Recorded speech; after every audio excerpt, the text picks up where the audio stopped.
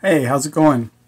Do you ever wonder what you call that feeling you get when you see a freshly raked pile of autumn leaves and you run at it and you kick it and it all goes flying up into the air?